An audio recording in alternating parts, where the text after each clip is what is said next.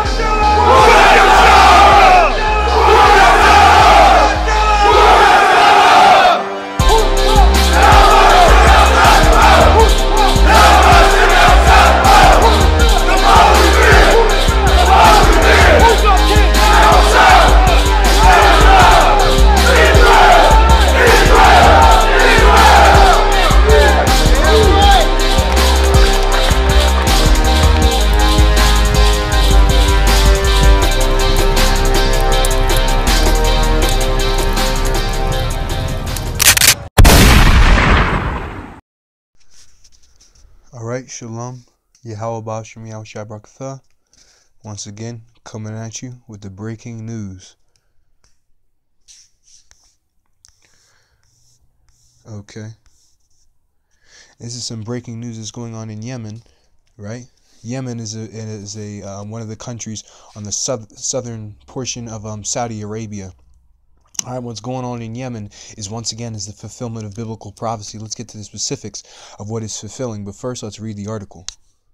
Yemen declares a state of emergency in Sana'a over cholera. Okay, cholera is uh, a so-called disease.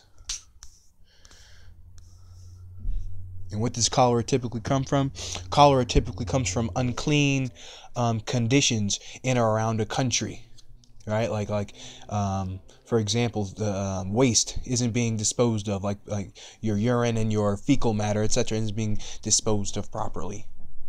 Okay, typically also comes from not eating. Um, in this area uh, uh, of Saudi Arabia, it's like it's its own country, Yemen. In this area, there's reports of famines.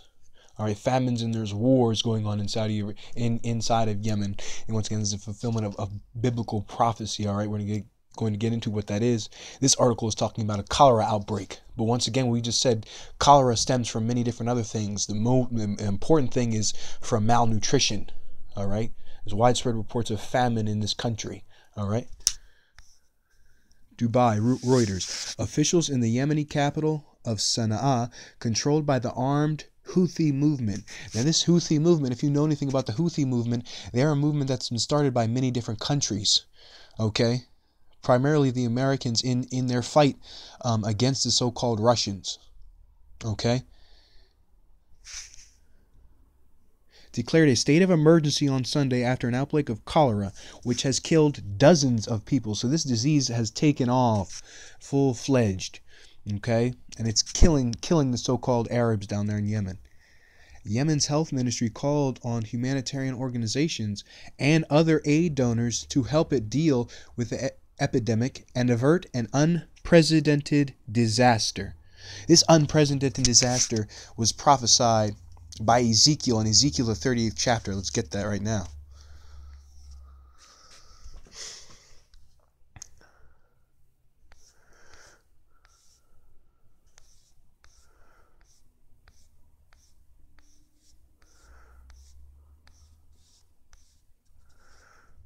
Ezekiel, the 38th chapter, and the second verse. Son of man. The son of man there here is Ezekiel.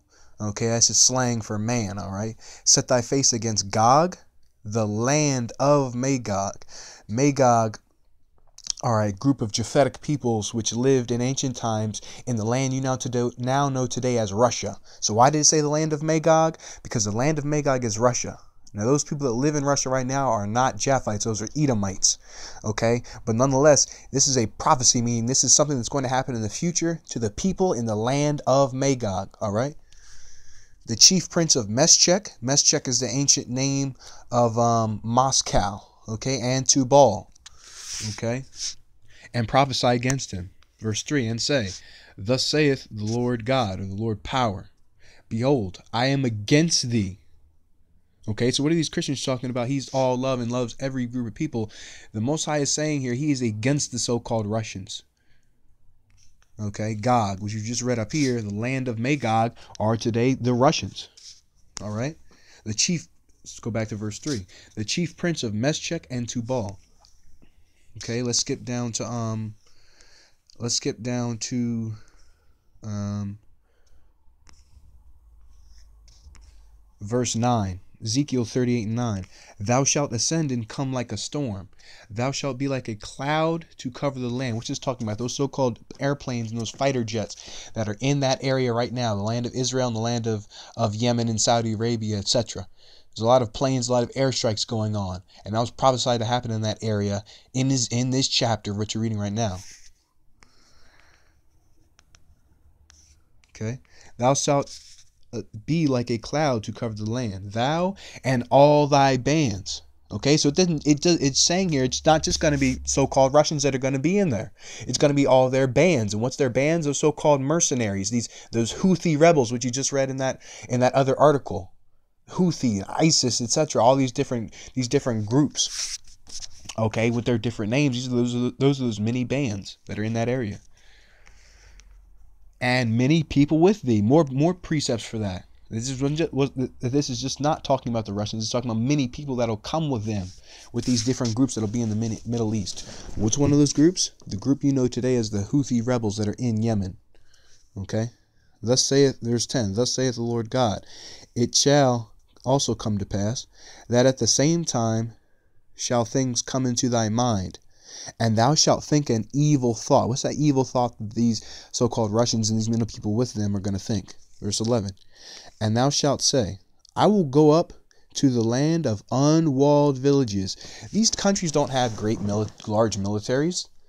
When you think of, of great military power, you don't think of Yemen. Yemen is the land of unwalled villages. Okay? And we'll get more proof of that later on.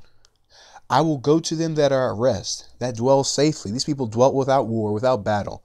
What were these people doing before the white man got a hold of them? Uh, they were farming, okay, and they were tending sheep, etc. All of them dwelling without walls and having neither bars nor gates. That's talking about their protection. They didn't have a, they don't have a strong military force because there was no need for it. Verse 12: To take a spoil and to take a prey and it's like it to turn thine hand upon the desolate places that are now inhabited. What's that?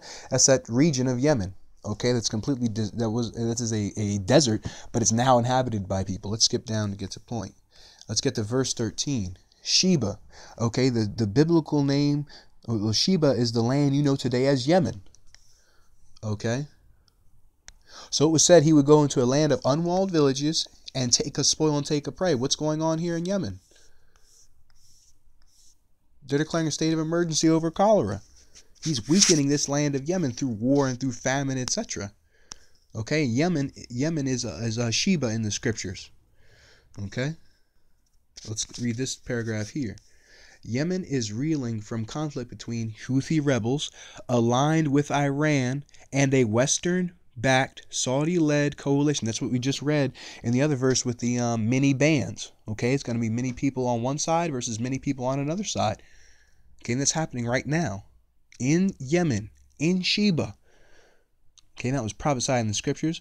Once again, this is the uh, this is breaking breaking news using uh, prophecies from the scriptures to prove what's going on in in the world today. Shalom.